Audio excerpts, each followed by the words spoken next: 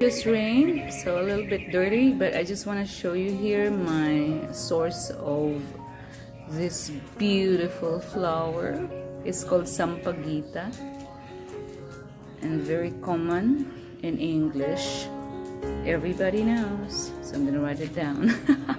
Oh this is sampaguita. This is our national flower for Philippines here this is what I get every single day. It's like blooming like a lot of them. So when I bring them inside uh, it's really the, the smell goes everywhere. Like I don't have to have aromatherapy.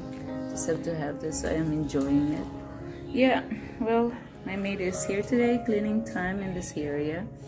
But I want to show you that they're blooming every day and I'm getting them Okay, I gotta go because my old doggy is on his way up and he couldn't get up. Beautiful, look at that. Beautiful. Oh my god. It's just so beautiful. And all those, uh, what is this? The, the baby, how do you call that ones?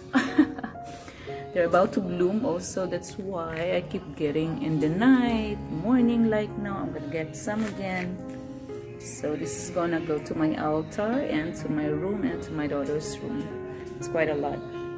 Sorry it's a little bit dirty because it just rained